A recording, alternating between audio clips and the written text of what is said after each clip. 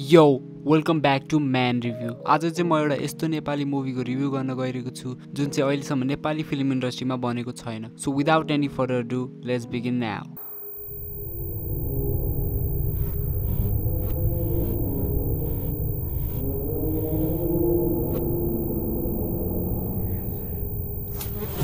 बसेन्जी यो चाहिँ नेपालको first video game style movie हो जुन चाहिँ नेपाली फिल्म इन्डस्ट्रीको लागि एकदमै नै न्यू छ। मैले पहिला इएन स्कट क्लेमेन्टको म्याङ्गो पिकल हेरेको थिएँ जुन चाहिँ अराउन्ड नेपालको सिभिल वार भएको टाइमतिर रिभल्भ गर्छ।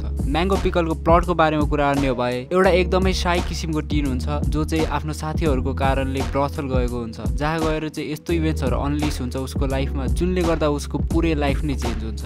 अब बसेन्जीको प्लट हेर्ने भए प्रवेश नाम गरेको एउटा टिनेजर हुन्छ जो चाहिँ म्याङ्गो पिकलको क्यारेक्टर जस्तै एकदमै साय अनि अरू कसैसँग त्यति इन्टरेक्ट नगर्ने किसिमको हुन्छ। उसको फादर एउटा नेपालको एग्रिकल्चर र इन्डस्ट्रीको रिपोर्ट लेखिरहेको हुन्छ र यो थाहा पाएर उसको फादरलाई वर्कबाट फायर गरेको हुन्छ। र यो सब भएपछि उसको लाइफ एउटा सिरिज अफ नाइटमेयरमा बदलिन्छ जुन चाहिँ एकदम मिस्टेरियस र डिस्टर्बिङ इभेन्ट्सले भरिएको हुन्छ। र यही नाइटमेयरहरूले गर्दा उसले आफ्नो पासको हरिफाइङ सिक्रेट्सहरू थाहा पाउँछ। मैले यो प्लट फर्स्टमा सुन्दाखेरि नै म एकदमै इन्ट्रेस्टेड भएको थिएँ। र दुई तिन दिनपछि सो क्यान्सल भएपछि बल्ल मैले हिजो सिक्सटिन अक्टोबर युट्युबरमा हेर्न पाएँ र म हजुरहरूलाई मेरो एक्सपिरियन्स र मुभी कस्तो छ भनेर भन्न गइरहेको छु। फर्स्टमा त मेरो लियोको ट्रेलर रिभ्यू जस्तै सिनेमाटोग्राफीको बारेमा कुरा गर्न चाहन्छु। यो मुभीको सिनेमाटोग्राफी एकदमै नै न्यू छ नेपाली फिल्म इन्डस्ट्रीको लागि। अब मैले फर्स्टमा भने जस्तै यो एउटा भिडियो गेम स्टाइल मुभी हो जहाँ चाहिँ हामीले प्रोट्यागनिस्ट प्रवेशको पर्सपेक्टिभबाट मुभी हेर्छौँ। मुभी चलिरहेको बेला ब्लिङ्किङ इफेक्ट्सहरू नि एड गरेको छ जुन चाहिँ मलाई एकदमै नै युनिक लाग्यो।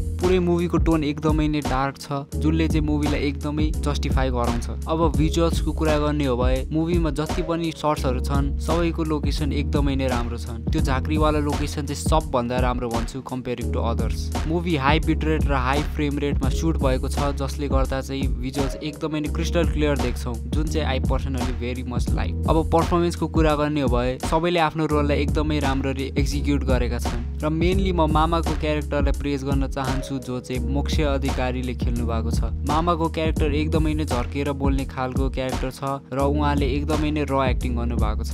जब मामाले प्रवेशले कराइरहेको हुन्छ त्यो बेला हामीलाई पो थर्काएको जस्तो फिल हुन्छ। सो एक्टिङ चाहिँ एकदमै नै राम्रो थियो। मुभीको इन्टरभल र एन्डिङ यति छिटो आउँछ कि हामीले थाहा नै पाउँदैनौँ जसले यो इन्डिकेट गर्छ कि हामीहरू मुभीमा एकदमै डिपली कनेक्टेड भइसक्यौँ भनेर। अब चाहिँ म स्पोइलरतर्फ लागिरहेको छु त्यसैले यदि मुभी हेर्नु भएको छैन भए यो चाहिँ अभोइड गर्न सक्नुहुन्छ है त। अब पुरै मुभी हेरिसकेपछि मलाई यो लाग्यो कि पुरै मुभी कन्सपिरेसी थ्योरिजहरूले बाँधिएको छ भनेर। जस्तै आकाशले भन्छ कि प्रवेश ल्यापटपको वेब क्याममा टेप लगाइदेऊ त्यहाँबाट तिमीलाई कसैले हेरिरहेको छ? अर होपलेस पर्सनले लिएर एक्सपेरिमेन्ट भइरहेको छ। त्यसैले उनीहरू बिरामी भइरहेछन् भनेर आकाशले मेन्सन गरिरहेको हुन्छ। आकाशको कुरा गरिसक्यो भने यो क्यारेक्टर एकदमै नै अनयुजुअल टाइपको छ। जस्तै आकाशले प्रवेशलाई भन्छ उनीहरू आइरहेछ प्रवेश। हामीहरूले काठमाडौँ छोडेर जानुपर्छ। अब तिनीहरू को हो? भनेर त भनेको छैन तर मेरो थिङ्किङमा चाहिँ तिनीहरू कि त त्यही एक्सपेरिमेन्ट गर्ने मान्छेहरू हो अरू कुनै कल ग्रुप छ जसले तिनीहरूलाई फलो गरिरहेको छ। पुरै मुभीभरि तिनवटा मात्रै जम्पस्केयर्सहरू छन्। फर्स्ट चाहिँ प्रवेश एक्सप्लोर गर्दै गर्दा एउटा फोर देख्छ जुन चाहिँ एउटा कुकुरले खाइरहेको हुन्छ।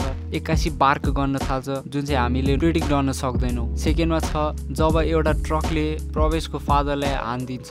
थर्डमा रहेको छ प्रवेश एक्सप्लोर गर्न जाँदा भक्तपुरमा एउटा सिक म्यान देख्छ जो चाहिँ प्रवेश राति सुतिरहेको बेला उसको आँखा खुल्छ। र एक ब्लिङपछि त्यही सिक म्यान उसको फेस अगाडि आएर कराउन थाल्छ। यो सबै जम्पस्केयरहरू एकदमै युनिकली एडिटेड र युनिकली सुट गरिएको छ। साउन्ड डिजाइनको कुरा गर्ने हो भए पनि एकदमै नै युनिक छ एउटा नेपाली फिल्मको लागि। पुरै मुभीभरि एउटा सिक्वेन्स छ जुन मलाई एकदमै नै मन पर्यो। त्यो सिक्वेन्स चाहिँ हो जब प्रवेश र आकाश एउटा फरेस्टमा गएका हुन्छन् र त्यहाँ आकाशले एउटा झाँक्रीको रुम पाउँछ। आकाशले प्रवेशलाई ओ यताउता एउटा झाँक्री रिचुअल गरिरहेछ आऊ हेर्नलाई भन्छ। प्रवेश र आकाश त्यो झाँक्रीको रुमभित्र जान्छन्। एकछिनपछि त्यो झाँक्री बाहिर गएर एउटा कुखुरा लिएर आउँछ र त्यो कुखुरालाई जिउँदै टियर गर्न लागेको हुन्छ। प्रवेश त्यो देखेर एकदमै नै आत्तिन्छ र बाहिर निस्किन्छ र बाहिर निस्केपछि एकदमै हेभी ब्रिथिङ गर्न थाल्छ। यताउति हेर्दै गर्दा उसले आफ्नो फादरको फिगर देख्छ जुन चाहिँ सेम लुगा लगाइरहेको हुन्छ जब उसको फादरलाई ट्रकले हिट गरेको हुन्छ। यो देखेर प्रवेश झाँक्रीको रुमभित्र जान्छ र झाँक्रीले प्रवेशलाई भुइँमा छुताएर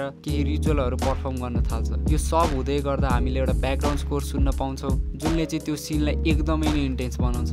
अब मेरो मेन क्वेसन भनेको यति हो कि आकाशले भनेको मान्छेहरू को हो र तिनीहरूले के गर्न लागेको छ भनेर। ओभरअल मुभी कस्तो छ भन्नु पर्दा म यति नै भन्छु कि this movie is not for everybody कसैलाई मन पर्न सक्छ र कसैलाई नमन पर्न सक्छ। डिरेक्टरले हामीहरूलाई नेपालमा एकदमै न्यू एक्सपिरियन्स दिने ट्राई गरेको छ र जसको एक्जिक्युसन एकदमै राम्रो भएको छ। मेरो त्यति कन्सर्न हो कि थोरै कन्टेक्स दिएको भए सबैले बुझ्न पाउँथे। जे होस् अरू जेसुकै भए पनि हजुरहरूले स्योरली यो मुभीलाई इन्जोय गर्नुहुन्छ एकचोटि भए पनि यो मुभीलाई एक ट्राई दिन सक्नुहुन्छ यति केही नयाँ हेर्न चाहनुहुन्छ भने। सो यति नै थियो मेरो एक्सपिरियन्स बसेन्जी मुभीलाई हेरेर। यदि हजुरहरूले पनि हेरिसक्नुभयो भने कमेन्ट गर्न सक्नुहुन्छ कस्तो लाग्यो हजुरहरूलाई भनेर। Anyways thanks for watching this video यस्तै नै भिडियोहरू अपकमिङ डेजहरूमा आउँछ र हेर्न चाहनुहुन्छ भए सब्सक्राइब गर्न नबिर्सिनु होला। यदि भिडियो मन परेमा लाइक र नमन परेमा डिसलाइक गर्न सक्नुहुन्छ your choice so yeah see you in the next video bye bye